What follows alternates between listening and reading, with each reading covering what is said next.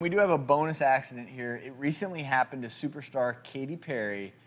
Don't worry, it's not a serious accident, but it's one that can happen to any of us. So she was apparently at an LA water park, went down the slide, and uh, let's just say there was a little wardrobe malfunction that was Whoops. captured by a lot of cameras.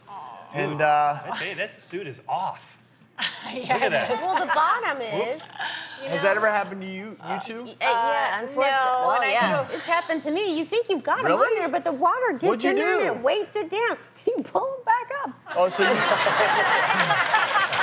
Especially, in the water. especially if you're in they, the ocean. don't they break away sometimes? Like, aren't they tied together a lot Yeah, of times? like Yeah, but breaks and just sometimes the floats to the elastic, if it's elasticy, it, the water fills in there. Especially if you're in the ocean, you get it just water You ever gets been in in the there. ocean and like lost? Really? then what do you do? Oh yeah. So what this You what do cover it up. Honey, bring a towel.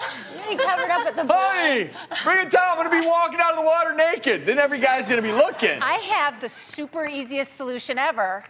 Wear a one piece. There you go. That is ah. true. Look like an Olympic swimmer. That is true. That'll definitely help. So is that is that the is that the big one? One piece. One Make piece. sure it's snug. Yeah, and one piece, Those make sure it's snug because yeah, we were we were actually doing a swimming thing, Oh, and yeah. I thought I was in there real good. But again, until you get that Yeah. water, some things Yeah. float Yep. up and out. Yeah, yeah. I had I know to what wash mean. my I eyes know out Just after don't that. know.